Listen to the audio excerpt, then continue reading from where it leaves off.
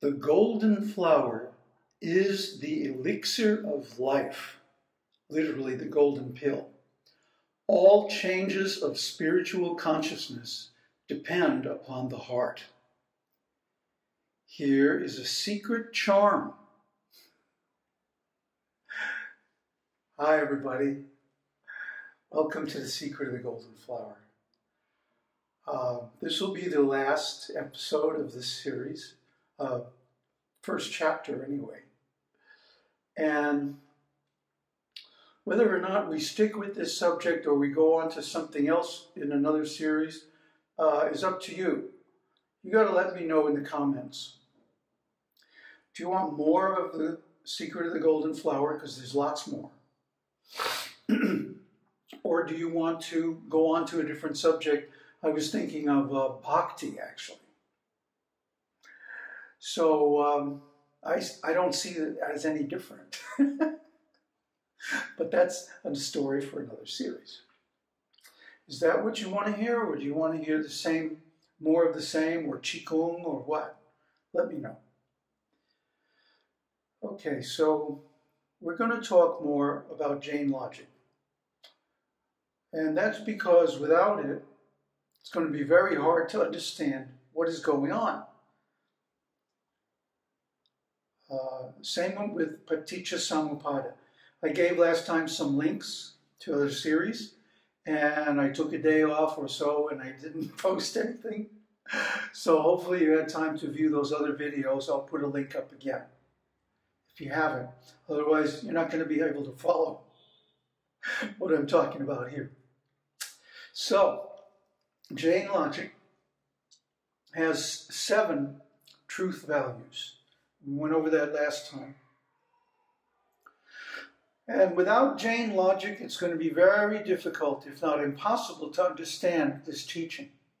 Because, first of all, in front of every logic condition, logic level, or truth value, there is the word syad, which means in some ways. You see, from its very root, this is a multi uh, truth, multi ordinal or multi dimensional system. So, in some ways, it is, but in some other ways, it might be something else. Well, what else could it be? In some ways, it is not. In some ways, it is and it is not. See, in some ways, for example, thoughts. Okay? Thoughts are, in some ways, you can experience them, you can generate them, you can even control them to a certain degree. Although the more you control them, the more neurotic and fucked up you get. Just a warning, folks. But you can also see them as ephemera, as simply semantic symbols for a reality that we have lost track of. And now we're reasoning with the symbols instead of the reality. So usually what happens when we come back to the reality, things are different than we expect. Oops. What's that called? Conceptual dissonance. So in some ways, it is, and it is inconceivable. Now this word inconceivable is avyaktavyaha. Avyaktavyaha literally means can't be spoken it's unspeakable, or it's beyond words. And that's certainly true of uh, anything that's transcendent. So it might even be placeholder for transcendent.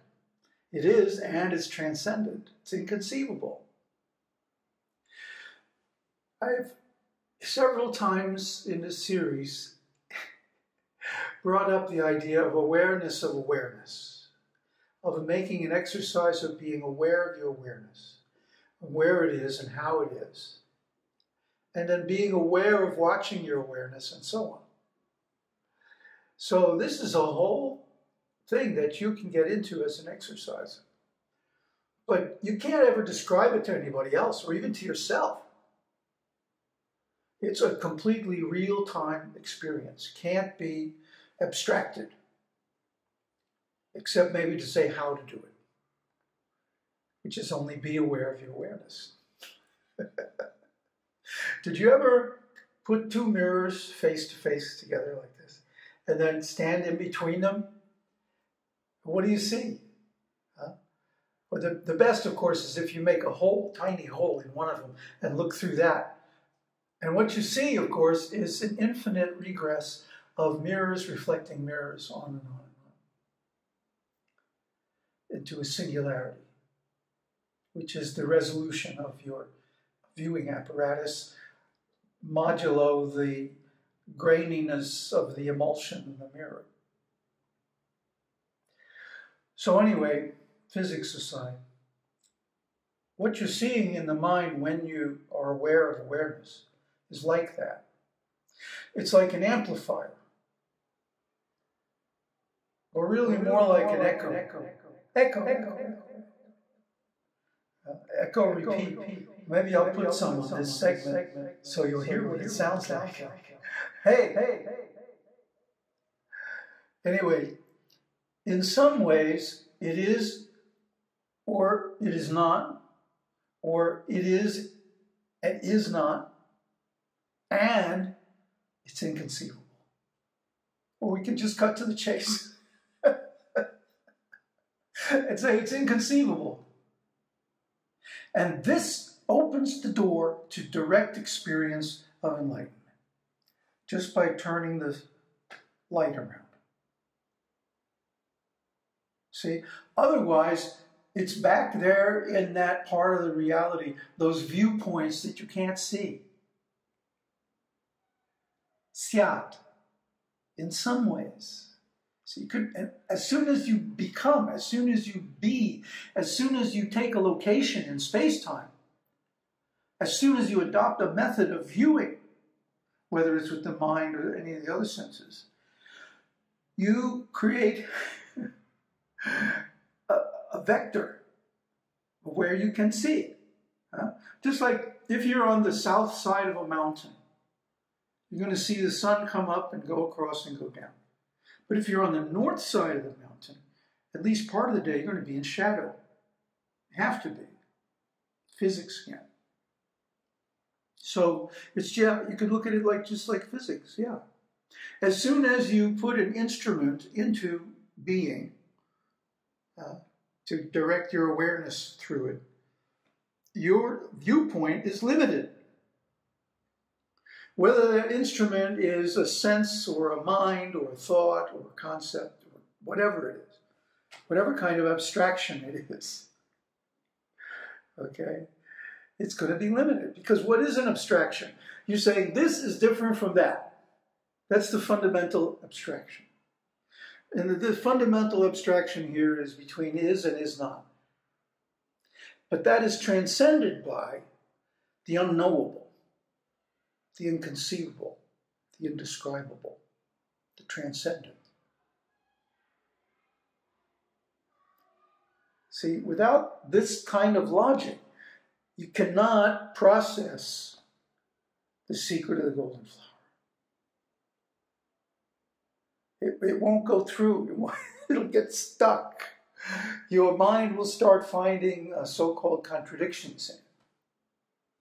But you see, the this secret of the golden flower has no problem switching between emptiness and male and female as different parts of the psyche coming together in a divine marriage, which wakes you up to the whole cosmos. That's the, the, the orgasm of realization. First path. I'm telling you, it's, it's dramatic. It's really impressive. I'm not going to say more about it here because I already wrote about it extensively in my book, The uh, Solution. So, in some ways, I could say that I'm enlightened. In some ways, I could say that I'm not enlightened. In some ways, I could say I both am and am not enlightened. For example, Buddha nature is in everyone. But until you realize it fully, it's like you don't recognize it or you don't get it. So maybe I'm just making up a story about being enlightened. But if that encourages someone to become enlightened, actually, isn't that okay? Well, it is and it isn't. and it's inexplicable.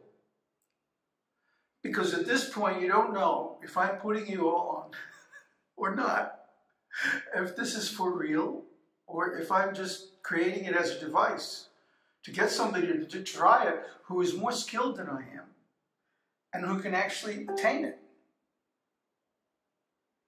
And I'm not going to tell which one it is. maybe it is and maybe it isn't. Bullshit. It's all bullshit. You know, this is why I go back and forth about doing these series. because I know ultimately it's all bullshit. And until you transcend even the holy path and the holy teacher and the holy lineage and the whole pile of shit, you're not going to get the fertilizer to put on your garden and make the flowers bloom. See, you have to be ready to accept all of it. Not just the parts you like, not just the parts that you even that you can see, but all of it, even the impossible parts of it. Because our idea of what is possible and impossible is a fabrication. It's a line drawn in the sand. It's arbitrary. It's based on our past. It has nothing to do with what's actually possible. I talked about this at length in my series Apophatic, oh dang it, Apophatic Anti-Fragility. I can't even, I never could pronounce that very well. Why am I playing with words? When I know perfectly well that words can't express what I'm talking about. See? In that series, I explain all that in detail. So, you know, if you want to doubt me because being cynical about words, that's okay. But watch that series first, because I know what I'm doing. words are, this is all a joke, right? I mean, like Rajni says, I'm absolutely non serious. And then he acts very serious and even tells jokes completely deadpan. I've seen one, one or two discourses, so he lost it. started laughing at his own jokes. But anyway, they must have had some good soup that night, Krishna. Mm, but anyway, um, hmm. what we're trying to do here is just create a vehicle that, like a framework that gets you to do a certain practice. That's all.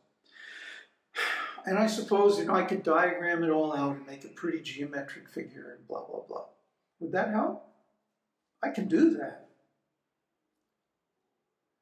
But for me, the most valuable thing that I learned from any of my teachers was that whatever you come across that sounds good, even if it's like a moonshot, try it. Do it. See what happens. Huh? You don't know what's going to happen. It's not called the unknowable for nothing. You know what I mean? Here is a secret charm, which, although it works very accurately, is yet so fluent that it needs extreme intelligence and clarity and complete absorption and calm. What has to come next are the jhanas. Buddha's eight levels of mind absorption, samadhi, dhyana, jhana. It's the same word, just in Pali. So without practice of the eight jhanas, you don't have the experiential base. You know, we talk a lot about ontology in our various series, and ontology is like a conceptual base or even a verbal symbolic base for measuring experiences. But now we're turning the whole thing around. And we're saying experience really, ultimately, is the only measuring stick, reliable measuring stick. But that experience has to be based on something, some standard. Huh? Like if we want to measure electricity, it's volts, ohms, amps. If we want to measure distance, it's miles or kilometers, whatever. Okay? So that we, we can communicate about it. Otherwise, it's like, you know, I mean, it's impossible anyway, but at least it's less impossible if we have a common language. So, People without this highest degree of intelligence and understanding, understanding comes from meaning, and meaning comes from context. And context, in part, is built on a lexicon, an ontological relationship. Remember the triples? Huh? A three way relationship between a thing, a symbol, and a definition. So, people without this highest degree of intelligence and understanding, ontological understanding, do not find the way to apply the charm. Why? Because if you do not understand the terminology used to describe the process, you can't do the process. You won't be able to apply it. And this is what I've been pounding and screaming since the Matrix Learning Series. So, people without this utmost capacity for concentration and calm cannot keep fast hold of it. this is a joke. This is a little in joke. Because what people think when you tell them, you know, you're going to do this process, right? Oh, Always they start to cling to it. They really, you know, can get attached to it. This is in Thailand, the monks have an expression sitting on a hundred foot pole. You ever see a flagpole sitter? This guy has got this little platform, maybe a meter square at the most, and he's sitting on top of this high flagpole, maybe a hundred feet high. Now, of course, you don't want to go anywhere, right? You'll be in trouble. or if you fall asleep, you know, my God, it's over. So, on the one hand, they're afraid to go forward and they're also afraid to go back. Oh, it's a terrible thing. Because they're attached. Around the third jhana, you start to get so much bliss, you know. And I told you in this series exactly how to do it. Right? So you got to watch the whole series and learn all these techniques. Try them. Try them. You might be surprised. They might actually work. But the reason you don't try them is not because you don't understand them, because I've made it as simple as possible, but because you're afraid. You're afraid you'll see something in yourself. So, people without this utmost capacity for concentration and calm, jhanas, cannot keep fast hold of it. This is the joke. Because if you try, the more you try to hold on to it, the more it's going to slip But exhausting yourself with the effort leads to collapse into let go. When you finally had it, when it, you can't hold on anymore, it's like, ah, I can't do this anymore. I can't take it anymore, right? Then you suddenly relax. Boom. That's when it happened. That's when it happened to me at the end of like, I don't know, 50 or 60 days in Oregon. And sitting 12 to 18 hours a day, one day I suddenly relaxed. It was like, hey, I can afford a little downtime here, you know. I already did eight hours today since 4 a.m., so let me have a little soup and jerk off for a while.